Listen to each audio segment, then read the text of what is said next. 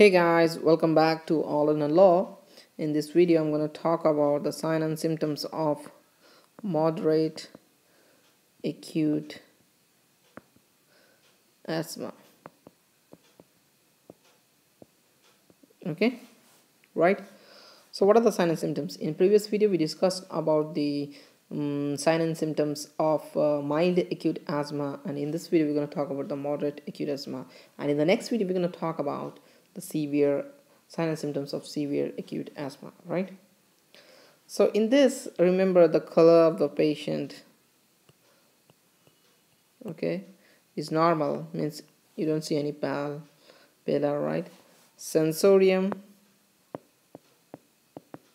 he looks anxious. He looks anxious okay? The respiratory rate the respiratory rate is going to be raised in moderate even in mild also right? And dyspnea can speak in phrases remember okay? It's gonna be moderate what you call. You can speak in phrases okay?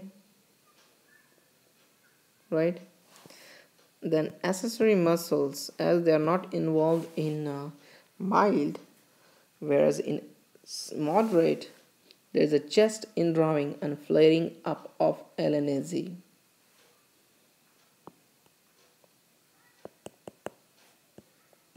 Chest indrawing and flaring of alae nasi.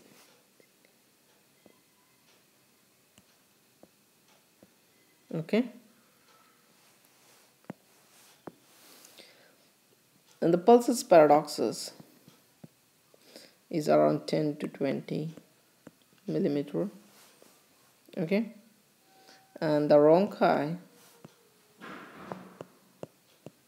and the rhonchi will be both the expiratory and the inspiratory. PEFR peak expiratory flow rate is around less than 80 that is 60 to 80 remember this is really very important. This is gonna help you easily so that you can divide the uh, the asthma into mild moderate and severe. And saturation SaO2 will be around 90 to 95 still the saturation is good but it has come down below the 95 right? So in the next video we're going to talk about the signs and symptoms of the severe acute asthma. This is for a medical uh, med school student okay? And even for those who are preparing for their USMLE examination just a kind of revision right guys? So thank you so much for watching this video. Take care